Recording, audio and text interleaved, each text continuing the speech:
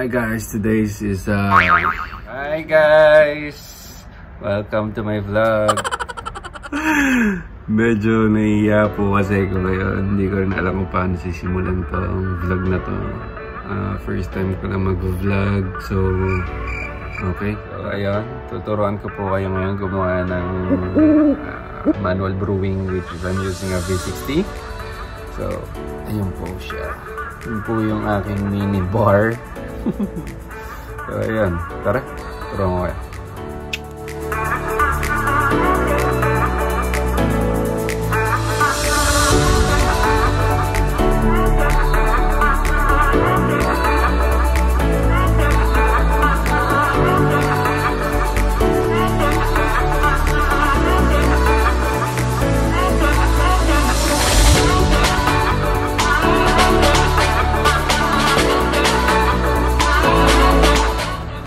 Timer kung nakikita mo timer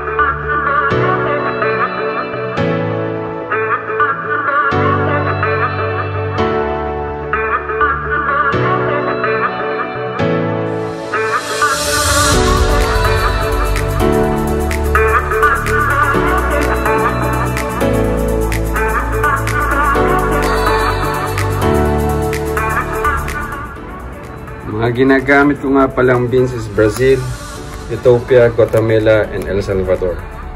-huh.